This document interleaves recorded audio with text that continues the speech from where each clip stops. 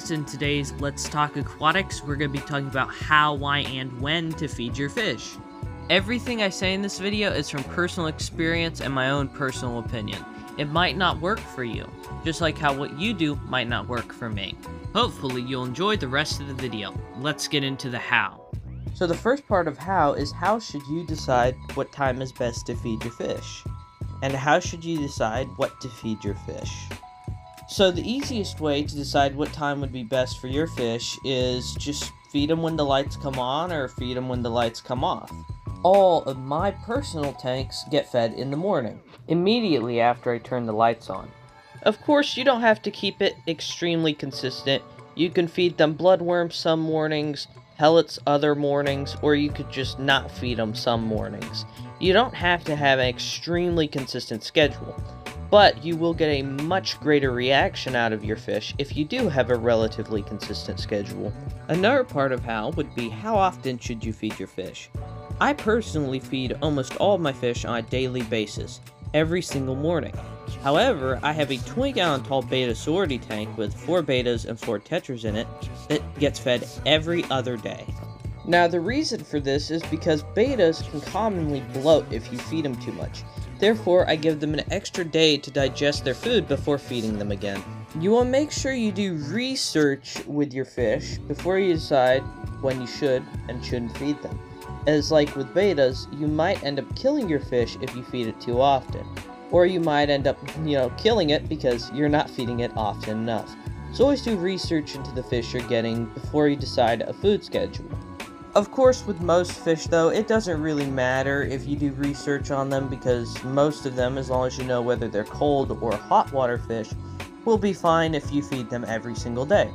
As long as you're not overfeeding them, and you're using your common sense on when you should and shouldn't feed them. That ends the how section. Now, I'm gonna blab on for a little and then we'll talk about why.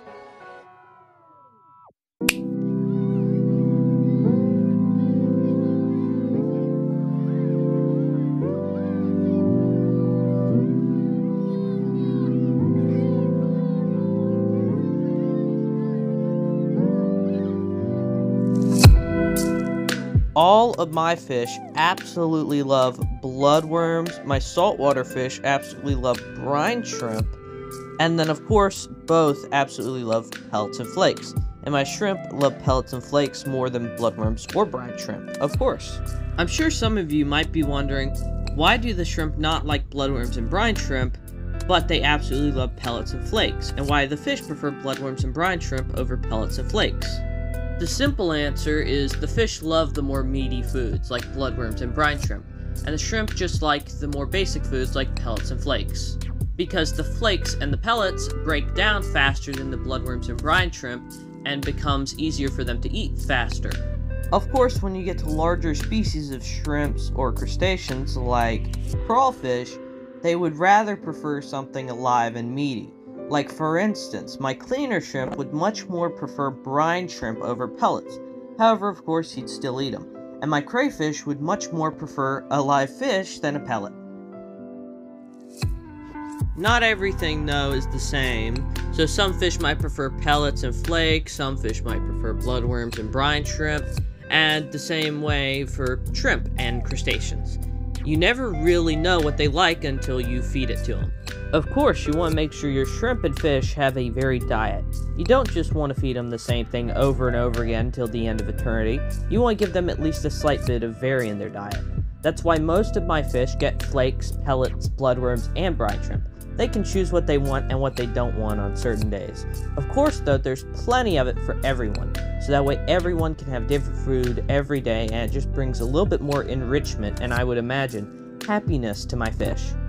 Also, although this is probably highly unlikely, you could probably feed your fish a little bit higher and better quality food, and they might live slightly longer. Although it's highly unlikely that your fish is going to live slightly longer, as long as it's not due to, like, you know, overfeeding or underfeeding. But a higher or lower quality food should not affect the health of your fish in any way, shape, or form.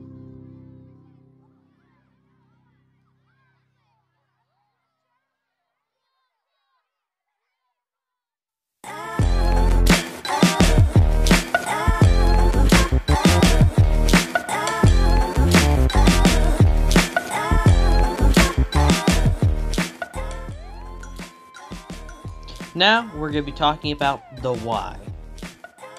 So the first why is why should you feed your fish on a consistent schedule? So the reason why you should feed your fish on a consistent schedule, as stated, is to get a better reaction out of your fish. Also, to build a habit, so that way you don't forget to feed your fish in the morning. Because if you do it every morning, you can't forget, that's for sure. Also, in my experience, if you feed them in the morning and they know they're getting fed in the morning, after the morning has passed, they will lose that feeding instinct that they have in the morning and they'll chill out for the rest of the day and you'll get to enjoy looking at your fish without having them all run over and chase you all the time. Of course mine still chase me from time to time, but it's not as horrible as it could be. For instance, not every single fish runs at me whenever I come to the side of the tank. Only like three or four of them will come over and those are probably just the three or four that didn't get enough food that morning and that's why I give them a little bit of a snack in the evening, so those four or five fish, which are still chasing me, can get a little bit of food. It also means that they'll all get an equal chance of getting food. If they all know they're getting fed in the morning, you won't have four or five fish be there first. They'll all be ready and waiting for the food, and will all have an equal opportunity of getting the food. No one will miss out. It is very important that none of your fish miss out, because you don't want to have a fish go, three or four days without eating because then you won't have a fish anymore. That's why I give a snack in the evening, is to make sure those four or five that somehow missed out, even though they all had an equal opportunity to get food, will still get food, so that way they don't go a couple days without eating, because then that'll cause other fish to pick on them more, and no good, no good, doesn't ever end well. So always make sure all of your fish are nice and happily fed. I think the last why is going to be when you get a new fish, the reason why you should have a consistent schedule is so that way that new fish will always have that opportunity in the morning, and if they miss it one day because they're too shy or too scared, they'll have it the next day. So that way you won't just be feeding, oh, well, look, he's out right now, here, let me feed him. No, he'll get on consistent schedule to come out in the morning to get the food, and so on and so forth, and then you'll have a consistent feeding schedule, you get to see your fish and know when they're out, and if you want to, like I do occasionally, you can delay the lights coming on by, say, an hour or two, and then turn them on and feed them. And then you'll have all of your fish present and out and about and ready to eat, and you'll get an awesome reaction. The very last thing is, I think it's just very important to have a consistent feeding schedule for both you and your fish. Because if you know what time they're going to get fed, they know what time they're going to get fed, just makes everything work a little bit better inside your tank. That's just in my personal opinion, though. The last thing is when. This is going to be very short because there's not a lot to it.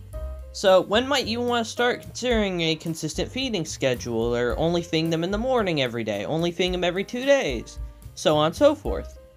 Whenever you feel like. If you can't do a consistent feeding schedule on your fish, it doesn't matter what time of the day or night they get fed, as long as they're getting their food.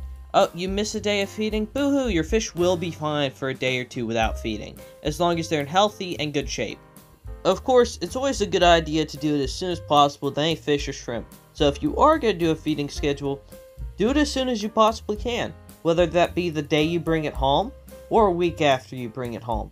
Just do it as soon as possible because it's always better to have a feeding schedule than not. That's it for the when. I told you there wasn't much. Anyways, I hope you guys enjoyed today's video, and of course, if you did, don't forget to like and subscribe. Also, go check out my TikTok and Instagram for high quality footage and photos. See ya!